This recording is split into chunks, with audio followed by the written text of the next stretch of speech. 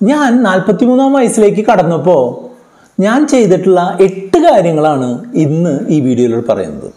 ഈ എട്ട് ഫിനാൻഷ്യൽ കാര്യങ്ങൾ നിങ്ങളും ഒരു മുപ്പത്തഞ്ച് വയസ്സോ അല്ലെങ്കിൽ അതിൽ കൂടുതലോ ഒക്കെ ആയിട്ടുള്ള ആൾക്കാരാണെന്നുണ്ടെങ്കിൽ തീർച്ചയായിട്ടും ഫോളോ ചെയ്യണം. ഞാൻ ചെയ്തിട്ടുള്ള കാര്യങ്ങൾ നിങ്ങളോട് ഷെയർ ചെയ്യുന്നത് എന്തുകൊണ്ടാണെന്ന് വെച്ചാൽ നിങ്ങളും അത് ഫോളോ ചെയ്ത് കഴിഞ്ഞാൽ നിങ്ങൾക്കും ഒരു തെറ്റില്ലാത്തൊരു ഫിനാൻഷ്യൽ ലൈഫിലേക്ക് എത്താൻ സാധിക്കും എന്നുള്ളൊരു പ്രതീക്ഷയിലാണ്. ഞാൻ സുബീഷാണ്. റുപ്പിമംഗ് എന്ന് പറഞ്ഞ യൂട്യൂബ് ചാനലിലൂടെയും ആസ്ക് റുപ്പിമംഗ് എന്ന് പറഞ്ഞ വാട്സപ്പ് സർവീസിലൂടെയും പേഴ്സണൽ ഫിനാൻസുമായി ബന്ധപ്പെട്ട കാര്യങ്ങൾ പറഞ്ഞു തരുന്നത് ഞാനാണ്. ജനുവരി നാലാം തീയതി ആയിരുന്നു എന്റെ പ്രോപ്പർ ഡേറ്റ് ഓഫ് ബർത്ത് അതായത് കഴിഞ്ഞ ജനുവരി നാലിന് നാൽപ്പത്തി മൂന്നാം വയസ്സ് കംപ്ലീറ്റ് ചെയ്തു. ആ ജനുവരി നാലാം തീയതി ഞാൻ പേഴ്സണലി ചെയ്ത കുറച്ച് കാര്യങ്ങളാണ് നിങ്ങളോട് ഷെയർ ചെയ്യുന്നത്. പേഴ്സണൽ ഫിനാൻസുമായി ബന്ധപ്പെട്ട കാര്യങ്ങൾ തന്നെയാണ് എന്നുള്ളതുകൊണ്ടാണ് ഈ ചാനലിലൂടെ അത് ഷെയർ ചെയ്യുന്നത്. ഒന്നാമതായിട്ട് ഞാൻ ചെയ്തത് എന്താണെന്ന് വെച്ചാൽ ഇതുവരെ ഞാൻ ചെയ്തിട്ടുള്ള ഫിനാൻഷ്യൽ കാര്യങ്ങളുടെ ഒരു ഇവാലുവേഷൻ നടത്തുക എന്നതാണ്. ഞാൻ എന്തൊക്കെ കാര്യങ്ങളിൽ ഇൻവെസ്റ്റ് ചെയ്തു? എന്തൊക്കെ കാര്യങ്ങൾ അതിൽ നന്നായിട്ട് വന്നു? എന്തൊക്കെ കാര്യങ്ങൾ അത് കൃത്യമായിട്ട് വർക്കായില്ല എന്തൊക്കെ കാര്യങ്ങളിൽ എന്റെ പൈസ പോയി? എന്തൊക്കെ കാര്യങ്ങൾ എനിക്ക് പൈസ കൊണ്ടുവന്നു? ഞാൻ എന്ത് ഒക്കെ തെറ്റുകളാണ് ചെയ്തത്? എന്തൊക്കെ നല്ല കാര്യങ്ങളാണ് ചെയ്തത് എന്നുള്ളത് അക്കമിട്ട് എഴുതി നോക്കി എന്നുള്ളതാണ് ഞാൻ പ്രധാനമായിട്ട് ചെയ്ത ഒരു കാര്യം. നിങ്ങൾക്കും അങ്ങനെ ഉണ്ടാവും അല്ലേ? നിങ്ങൾക്ക് ചിലപ്പോൾ പ്രൈവറ്റ് കുറിയിൽ ചേർന്ന് പൈസ പോയിട്ടുണ്ടാവും. അതൊരു മോശം കാര്യമാണ്. നിങ്ങൾക്ക് തെറ്റില്ലാത്ത ഒരു മ്യൂച്വൽ ഫണ്ടിൽ ചെറിയ ചെറിയ ചെറിയ തുകയായിട്ട് ഇട്ടിട്ട് നിങ്ങൾക്ക് അത്യാവശ്യം നല്ലൊരു ലാഭം ഈ ഈ മുൻകാലങ്ങളിൽ കിട്ടിയിട്ടുണ്ടാവും. അത് നല്ലൊരു ശീലമാണ്.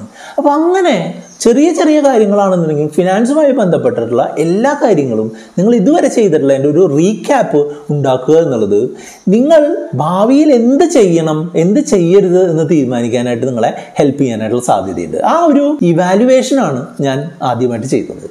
രണ്ടാമത്തേത് ഞാൻ ചെയ്തതെന്താണെന്ന് വെച്ചാൽ എന്റെ ഒരു നെറ്റ് വർത്ത് കണ്ടുപിടിക്കുക എന്നുള്ളതാണ്. നെറ്റ് വർത്ത് എന്ന് പറഞ്ഞാൽ വേറൊന്നുമില്ല. നമ്മളുടെ ഒരു മൊത്തത്തിലുള്ള ഒരു ഫിനാൻഷ്യൽ അവസ്ഥയെ സൂചിപ്പിക്കുന്ന ഒരു ഒരു തുകയാണ്. അതായത് എനിക്ക് എന്തൊക്കെ അസറ്റുകളുണ്ട് അതിന്റെ വാല്യൂകളെല്ലാം കൂടെ കൂട്ടിയിട്ട് എനിക്ക് എന്തൊക്കെ ലോണുകൾ മറ്റുള്ള ലൈബിലിറ്റികളുണ്ട് ആ തുക കുറച്ചാൽ കിട്ടുന്നതിനെയാണ് നെറ്റ് വർത്ത് എന്ന് പറയാം. ഉദാഹരണമായിട്ട് പറയുകയാണെങ്കിൽ എനിക്കിപ്പോൾ സ്റ്റോക്കുകളുണ്ട് അതിന് ഇത്ര രൂപ. എനിക്ക് മ്യൂച്വൽ ഫണ്ടുകളുണ്ട് അതിന് ഇത്ര രൂപ. എനിക്ക് ബോണ്ടുകളിൽ നിക്ഷേപമുണ്ട് അത് ഇത്ര രൂപ. ഫിക്സഡ് ഡെപ്പോസിറ്റുകളുണ്ട് അത് ഇത്ര രൂപ. സേവിങ്സ് അക്കൗണ്ടിൽ അത് ഇത്ര രൂപ. ക്യാഷായിട്ട് അത് ഇത്ര രൂപ. അങ്ങനെ ഗോൾഡ് ഇത്ര രൂപ റിയൽ എസ്റ്റേറ്റിന്റെ ഏകദേശ വില ഇത്ര രൂപ എന്ന് പറഞ്ഞ് ഇതെല്ലാം കൂടെ കൂട്ടുമ്പോൾ എനിക്ക് എന്റെ അസറ്റുകളുടെ വില കിട്ടി. അതേസമയം എനിക്ക് ബാങ്കിൽ ഹോം ലോണിനായിട്ട് ഇത്ര രൂപ കടമുണ്ട്. എനിക്ക് ചിട്ടിയിൽ ഇത്ര രൂപ അടയ്ക്കാൻ ബാക്കിയുണ്ട്. എനിക്ക് ക്രെഡിറ്റ് കാർഡിൽ ഇത്ര ബാലൻസ് ഉണ്ട്. എനിക്ക് മറ്റൊരാൾക്ക് കടം വാങ്ങിയത് തിരിച്ചു കൊടുക്കാൻ ഇത്ര രൂപ ബാലൻസ് ഉണ്ട്. അതെല്ലാം കൂടെ കൂട്ടുമ്പോഴെന്തായി എന്റെ ലയബിലിറ്റീസ് ബാധ്യതകളുടെ ടോട്ടലായി എനിക്ക് മൊത്തമുള്ള അസറ്റുകളിൽ നിന്ന് ഈ ബാധ്യതകൾ കുറച്ച് കഴിഞ്ഞാൽ എത്ര എന്ത് കിട്ടും? അതിനെയാണ് നെറ്റ് വർത്ത് എന്ന് പറയുക. ഈ നെറ്റ് വർത്തിന്റെ അളവ് കണ്ടുപിടിക്കുക വഴി നിങ്ങൾക്ക് നിങ്ങളുടെ ഫിനാൻഷ്യൽ അവസ്ഥ എങ്ങനെയുണ്ട് എന്നുള്ളത് ഇപ്പോഴത്തെ ഒരു രീതിയിൽ എങ്ങനെയുണ്ട് എന്നുള്ളത് കൃത്യമായിട്ട് മനസ്സിലാക്കാനായിട്ട് സാധിക്കും. നെറ്റ്വർക്ക് എപ്പോഴും പോസിറ്റീവായിട്ട് ആയിരിക്കുന്ന ആയിരിക്കുന്നതാണ് എപ്പോഴും നല്ലത്. ഇപ്പോൾ ഒരു നെറ്റ്വർത്ത് ഒരു പത്ത് കോടി അല്ലെങ്കിൽ ഒരു അഞ്ച് കോടി അല്ലെങ്കിൽ ഒരു മൂന്ന് കോടി അല്ലെങ്കിൽ ഒരു കോടി അല്ലെങ്കിൽ ഒരു അമ്പത് ലക്ഷം അല്ലെങ്കിൽ ഒരു ഇരുപത് ലക്ഷം ഒക്കെ ആയിരിക്കുക എന്നുള്ളത് പോസിറ്റീവായിട്ട് ഇരിക്കുക എന്നുള്ളത് എപ്പോഴും നെറ്റ്വർക്കിന്റെ കാര്യത്തിൽ വളരെ പ്രധാനപ്പെട്ടതാണ്. അങ്ങനെ പോസിറ്റീവ് ആയിട്ടല്ല എന്നുണ്ട് എന്നുണ്ടെങ്കിൽ നിങ്ങൾ എന്ത് ചെയ്യണം?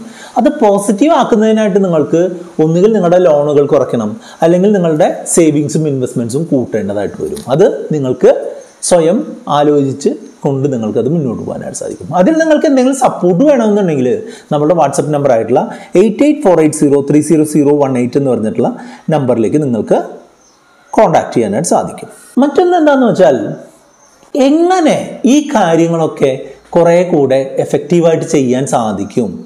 ഇത് നമ്മൾ തന്നെ ചെയ്താൽ ശരിയാവുമോ? അല്ലെങ്കിൽ മറ്റൊരാളുടെ സഹായം വേണോ? അങ്ങനെയുള്ള കാര്യമൊക്കെ ഞാൻ ഒന്ന് മനസ്സിലാക്കാനായിട്ട് ശ്രമിച്ചു. ഇനി നിങ്ങൾക്കും അങ്ങനെ ശ്രമിച്ചിട്ട് നിങ്ങൾക്ക് നമ്മളുടെ സപ്പോർട്ട് ആവശ്യമുണ്ടെന്നുണ്ടെങ്കിൽ ഞാൻ മുൻപ് പറഞ്ഞ പോലെ നമ്മുടെ വാട്സാപ്പ് നമ്പറിലേക്ക് കോൺടാക്ട് ചെയ്ത് നിങ്ങളെ തീർച്ചയായിട്ടും നമുക്കതിൽ ഗൈഡ് ചെയ്യാനായിട്ട് സാധിക്കും. കുറേ ആളുകൾ ഇപ്പോൾ നമ്മളുടെ വാട്സാപ്പ് നമ്പറിലെ ആ സ്ക്രിപ്പിമങ് സർവീസ് ഉപയോഗിച്ച് eight eight four eight zero three zero zero one eight ഉപയോഗിച്ച് നിങ്ങളെപ്പോലെ കോൺടാക്ട് ചെയ്ത് അത്യാവശ്യം തെറ്റില്ലാത്തൊരു ഫിനാൻഷ്യൽ സിറ്റുവേഷനിലേക്ക് എത്തി എത്തുന്നുണ്ട്. മറ്റൊരു കാര്യം ഞാൻ ചെയ്തത് എന്താണെന്ന് വെച്ചാൽ എന്റെ ഇൻഷുറൻസിന്റെ അവസ്ഥ എങ്ങനെയുണ്ട് എന്നുള്ളത് നോക്കുകയാണ്. പ്രധാനമായിട്ടും മൂന്ന് തരത്തിലുള്ള ഇൻഷുറൻസുകളാണ് എനിക്കുള്ളത്. ഒന്ന് health insurance health insurance company provide ചെയ്യുന്ന ഹെൽത്ത് ഇൻഷുറൻസ് ഉണ്ട്. അതുപോലെ ഞാൻ അതിന് ഒരു അഡീഷണൽ ആയിട്ട് പേഴ്സണലി ഒരു ഹെൽത്ത് ഇൻഷുറൻസ് പോളിസി ചേർന്നിട്ടുണ്ട്. മറ്റൊന്ന് എന്റെ ലൈഫ് കവറേജുമായിട്ട് ബന്ധപ്പെട്ടുള്ള ടേം പോളിസികൾ രണ്ടെണ്ണം ഉണ്ട്. മറ്റൊന്ന് നമ്മളുടെ ലോണിലുള്ള ഒരു വീടുമായിട്ട് ബന്ധപ്പെട്ടുള്ള ഹോം ഇൻഷുറൻസും ഉണ്ട്. അപ്പോൾ ഈ കാര്യങ്ങളൊക്കെ നമ്മൾക്ക് അഡിക്വേറ്റ് ആയിട്ടുള്ള രീതിയിൽ കവേർഡ് അല്ലേ എന്നുള്ളത് നോക്കുകയാണ് ചെയ്തത് അപ്പോൾ തീർച്ചയായിട്ടും നിങ്ങളും അത് ചെയ്തിരിക്കണം എന്നുള്ളതാണ് പ്രധാന കാരണം. കാരണം എന്താണെന്ന് വെച്ചാൽ ഇപ്പോഴത്തേക്ക് ഒരു അവസ്ഥയിൽ അത്യാവശ്യം ഒരു ഒന്നോ രണ്ടോ ദിവസം ഹോസ്പിറ്റലിൽ കിടന്നു കഴിഞ്ഞാൽ ഒന്ന് രണ്ട് ലക്ഷം രൂപയൊക്കെ മാറിപ്പോവാനായിട്ട് യാതൊരുവിധ ബുദ്ധിമുട്ടുമില്ലാത്ത കാര്യമാണ്. മെഡിക്കൽ കോസ്റ്റുകളൊക്കെ വളരെ ഉയർന്നു വരികയാണ്. അതേപോലെ തന്നെ വളരെ അൺസർട്ടൺ ആയിട്ടുള്ള ഒരു കാലത്തിലൂടെയാണ് നമ്മൾ കടന്നു പോകുന്നത്. ആർക്കാണ് എന്താണ് സംഭവിക്കുക എന്ന് പറയാൻ പറ്റില്ല. അതുകൊണ്ട് തന്നെ നമ്മളെ ഡിപ്പെൻഡ് ചെയ്തുകൊണ്ട് ആരെങ്കിലും ഒരു ഫിനാൻഷ്യലി ഡിപ്പെൻഡ് ചെയ്യുന്ന ആരെങ്കിലും ഉണ്ട് എന്നുണ്ടെങ്കിൽ നിങ്ങൾ തീർച്ചയായിട്ടും ടേം കവറും കൂടെ എടുക്കണം എന്നുള്ളത് ഞാൻ പറഞ്ഞു മറ്റൊന്ന് ഞാൻ ചെയ്തത് എന്റെ റിട്ടയർമെന്റ് പ്ലാനിങ്ങുമായിട്ട് ബന്ധപ്പെട്ട് കാര്യങ്ങളെല്ലാം നല്ല രീതിയിലാണോ പോകുന്നത് എന്നുള്ളതാണ് നോക്കിയിട്ടുള്ളത്.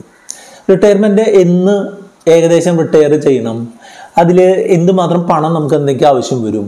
ആ പണം എങ്ങനെയാണ് ഞാൻ നിക്ഷേപിക്കുന്നത്? ആ പണം നിക്ഷേപിച്ചിട്ടുള്ളത് എങ്ങനെയൊക്കെ വളർന്ന് എവിടം വരെ എത്തി എന്നുള്ളതൊക്കെ ഒരു സാറ്റിസ്ഫൈങ് ആയിട്ടുള്ള ഒരു ലെവലിലാണ് എന്നുള്ളത് ഞാൻ റിവ്യൂ ചെയ്ത് മനസ്സിലാക്കി. അപ്പോൾ റിട്ടയർമെന്റ് പ്ലാനിങ് എന്ന് പറഞ്ഞിട്ടുണ്ടെങ്കിൽ ഈ വീഡിയോ കണ്ടുകൊണ്ടിരിക്കുന്ന എല്ലാവരുടെയും ആവശ്യമായിട്ട് വരാനുള്ള സാധ്യതയുണ്ട്. റിട്ടയർമെന്റ് പ്ലാനിങ് വളരെ കാര്യക്ഷമമായിട്ട് നടത്തേണ്ടതിന്റെ പ്രാധാന്യം ഞാൻ പറയാതെ തന്നെ നിങ്ങൾക്ക് പലർക്കും അറിയാവുന്നതാണ്.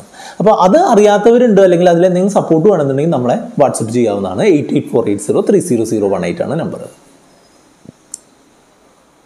മറ്റൊന്ന് നമ്മളുടെ വീടുമായിട്ട് ബന്ധപ്പെട്ടിട്ടുള്ള ഒരു കാര്യമാണ്. വീട് ഇപ്പോൾ ഒരു വീടിന്റെ ഒരു കൺസ്ട്രക്ഷൻ നടന്നുകൊണ്ടിരിക്കുന്നുണ്ട്. ആ വീടിന്റെ പ്രോഗ്രസ് എങ്ങനെയാണ്? എത്ര രൂപ കൂടെ വേണം? അതിന് ലോൺ എങ്ങനെയാണ്? അത് ലോണിന്റെ തിരിച്ചടവ് എങ്ങനെയാണ്? അത് പ്രീപേയ്മെന്റ് ചെയ്യാൻ സാധിക്കുമോ? എപ്പോഴേക്കും അത് അവസാനിക്കും? അങ്ങനെയുള്ള അതുമായിട്ട് ബന്ധപ്പെട്ടുള്ള ഒരു പ്ലാനിങ് നടത്തുക എന്നുള്ളത് ഞാൻ ചെയ്തിട്ടുള്ള മറ്റൊരു കാര്യമാണ്. ഇതുകൂടാതെ കുട്ടികളുടെ വിദ്യാഭ്യാസവുമായി ബന്ധപ്പെട്ടുള്ള മറ്റൊരു ഗോളുണ്ട്. ആ ഗോളിനായിട്ട് ഏത് സമയത്ത് എത്ര രൂപ വേണ്ടി വരും എന്നുള്ളതിനെ പറ്റിയുള്ള ഒരു ഏകദേശ കണക്കുണ്ടാക്കിയിട്ടുണ്ട്. ആ കണക്ക് അച്ചീവ് ചെയ്യുന്നതിനായിട്ട് നമ്മൾ എങ്ങനെയൊക്കെ നിക്ഷേപിക്കണം? അത് ആ നിക്ഷേപങ്ങൾ കൃത്യമായിട്ട് മുന്നോട്ട് പോകുന്നുണ്ടോ എന്നുള്ള കാര്യങ്ങൾ നമ്മൾ നോക്കുകയുണ്ടായി. അതിൽ നിന്ന് എനിക്ക് ചെറിയൊരു മാറ്റങ്ങൾ എനിക്ക് വരുത്തേണ്ടതായിട്ട് വന്നു. അവിടെ ഒന്ന് രണ്ട് ഫണ്ടുകൾ മാറ്റാനായിട്ട് നമുക്ക് തീരുമാനിച്ചിട്ടുണ്ട്. അത് വഴിയെ ചെയ്യും. അത് നമ്മളുടെ അപ്ഡേറ്റ്സിൽ നമ്മൾ ഉൾപ്പെടുത്തുകയും ചെയ്യാം. മറ്റൊന്ന് ഞാൻ ചെയ്തതെന്ന് വെച്ചാൽ നമ്മൾക്ക് കുറച്ച് റിയൽ എസ്റ്റേറ്റ് പ്രോപ്പർട്ടികളുടെ എണ്ണം കുറച്ച് കൂടുതലാണ്. അല്ലെങ്കിൽ റിയൽ എസ്റ്റേറ്റിലുള്ള അലോക്കേഷൻ കുറച്ച് കൂടുതലാണ്. അതെങ്ങനെ റീസ്ട്രക്ചർ ചെയ്യാം എന്നുള്ളതിനെ പറ്റിയിട്ടുള്ള ഒരു ഒരു പദ്ധതി ഉണ്ടാക്കണം എന്നുള്ളതിന്റെ ഒരു തീരുമാനം എടുത്തിട്ടുണ്ട്. അത് അതിനെ പറ്റിയിട്ട് കൃത്യമായിട്ട് ഒരു ഒരു പദ്ധതി ഉണ്ടാക്കാനായിട്ട് തീരുമാനിച്ചിട്ടുണ്ട്. നമ്മളിൽ പലർക്കും അങ്ങനെയുണ്ട്.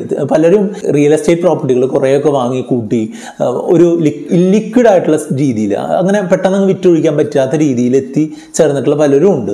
അപ്പോൾ അവരെ എന്തൊക്കെ പ്രോപ്പർട്ടികൾ എന്തൊക്കെ അത്യാവശ്യ കാര്യങ്ങൾക്കായിട്ട് ഉപയോഗിക്കാം? അല്ലെങ്കിൽ അങ്ങനെ വിറ്റുപോകുന്നതാണോ വിറ്റുപോകാത്തതാണോ എന്നുള്ളതിനെ പറ്റി ഒരു കണക്കെടുപ്പ് എടുത്തുകൊണ്ട് എങ്ങനെ അത് നമ്മൾക്ക് നല്ല കാര്യക്ഷമമായിട്ട് ഉപയോഗിച്ച് നമ്മളുടെ ജീവിതം കുറേ കൂടെ മുന്നോട്ട് കൊണ്ടുപോകാനായിട്ട് സാധിക്കും എന്നുള്ളതിനെ പറ്റിയൊരു തീരുമാനം എടുക്കാൻ നിങ്ങൾക്ക് തീർച്ചയായിട്ടും ശ്രമിക്കാം മറ്റൊരു കാര്യം എന്താണെന്ന് വെച്ചാൽ ലൈഫ് സ്റ്റൈൽ ഇൻഫ്ലേഷനെ പറ്റിയിട്ട് മനസ്സിലാക്കുകയും അത് എങ്ങനെ അതിനെ മെയിന്റെയിൻ ചെയ്യണം എന്ന് മനസ്സിലാക്കുകയും ചെയ്യുക എന്നുള്ളതാണ്.